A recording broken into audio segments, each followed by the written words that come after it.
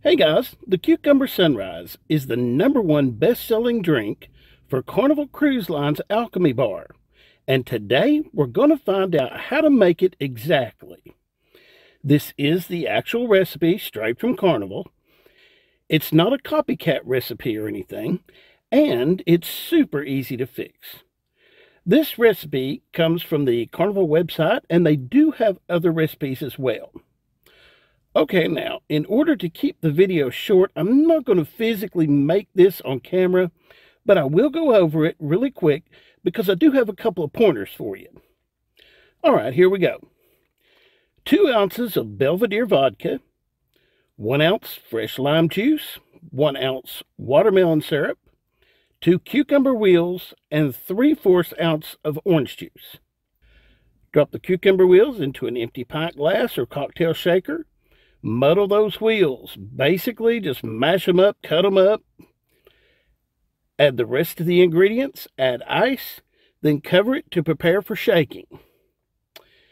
Shake it for five seconds, no more, no less, unless you really feel like it.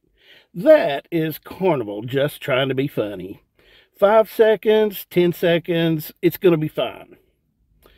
Okay, a couple of pointers here. How big should the cucumber wheels be? Well, you don't have to go crazy, but I wouldn't skimp here either. I mean, this ingredient is kind of the heart of your drink.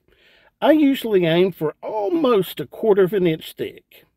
Okay, adding ice. Do you add it before you shake and strain or after? For me, I do both. I add the ice before I shake and strain because, well, the recipe says to, but I think it helps to mix better it definitely helps to chill it, and it probably helps your drink go a little further too. After shaking, I top it off with more ice. Now, as for straining, I'm really not that picky about it like what it says here. So for me, sometimes I'll even use the lid to strain it, or not even strain it at all. I know, though, that some people don't like pulp, so that's really going to be up to you. Either way, then you're ready to add your ice and then enjoy your drink. Also, another tip. If you're having guests or you just don't want to make these one at a time, you can multiply the recipe by, say, four and make a small pitcher, or by eight to make a larger pitcher.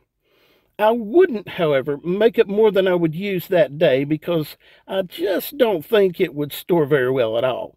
The next day might be a totally different story. Okay, guys, if you decide to try it, please drop me a comment below. I'd love to hear from you. And as always, thanks to all of our subscribers. And if you haven't already subscribed, please take a second and do so. Again, my name is Michael. Thank you so much for watching, and I will see you next time.